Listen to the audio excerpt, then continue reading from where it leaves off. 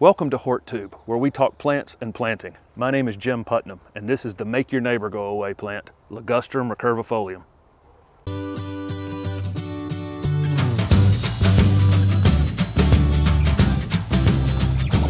This is Ligustrum recurvifolium, a very fast growing leafy evergreen shrub that can be maintained about six feet high or allowed to get to 15 feet and uses a border between properties. Ligustrum is best in zone 7 to 11. Probably can be tried in 6B and might take a little bit of winter damage on the top that can easily be pruned off every spring. Ligustrum recurvifolium performs well in the sun or the shade, but in the shade it could be a little thinner. And as an example, this plant right here, this is a seven gallon one, and it's a little thin at the bottom because it's been grown very close together with other seven gallon ligustrum all we'd have to do on this is take a little bit off the top and give it a little bit of space and it'll regenerate the growth at the bottom. If you have the option, depending on where you live, leafy evergreen shrubs like this ligustrum are much better options for screening. They tend to get less disease problems, less insect problems. If you're using Ligustrum recurvifolium as a screening plant and you want to get rapid growth out of it, you could fertilize this plant twice a year, maybe mid-March and then again in mid-June with a slow release fertilizer. Prop brand probably doesn't matter. Osmocote would work, Hollytone would work. One of the main advantages to ligustrum over some other choices you might use for screening plants is there's virtually no insect or disease problems. Occasionally we might see some scale insect on the back of the leaf in the lower, very bottom leaves where the wind's not blowing.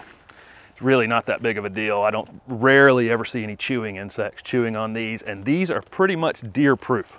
I sometimes see these planted on foundations on new construction because they're inexpensive at the nursery.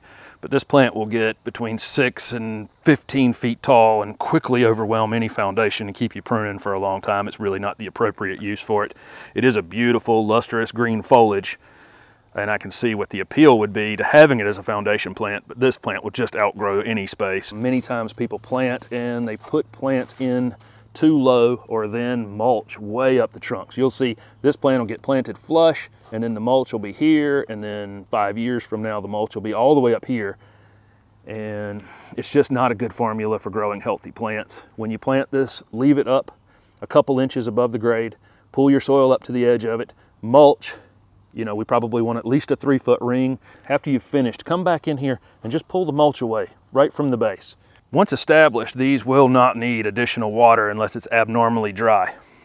But while you're trying to create a screen, you probably do want to give them some additional water because we're trying to create growth. If they go through any kind of drought stress, that will slow the growth. Here's a great example of a Ligustrum recurvifolium screen. Unfortunately, there's a big six foot weed in the way. Okay, that's better.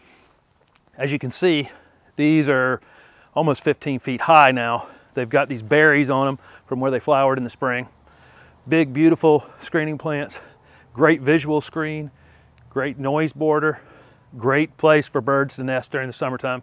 So overall, probably one of the top screening plant choices.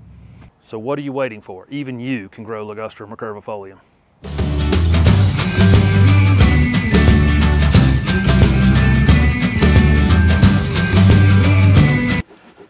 Probably going to be asked to direct the next Star Wars after I make this weed disappear. Good place for birds to nest in the wintertime.